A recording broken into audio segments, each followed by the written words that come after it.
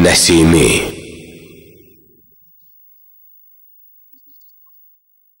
Oktyabrın 6-sı Gecə 1-ə 15 dəqiq işləmiş